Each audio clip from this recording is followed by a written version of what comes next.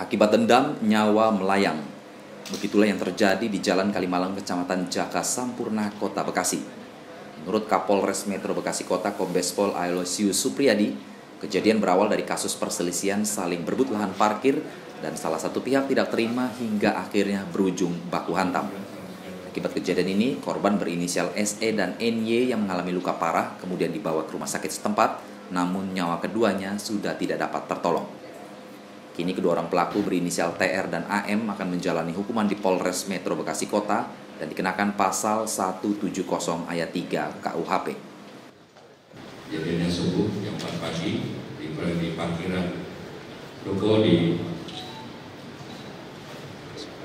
di Bekasi Barat di Jakarta Sampurna di mana kejadian ini terjadi di depan pos salah satu ormas sehingga mengakibatkan dua orang luka parah kemudian berujung meninggal dunia karena luka yang dialaminya dengan tersangka ada dua orang TR dan AM ini di, berhasil oleh tugas dari reserse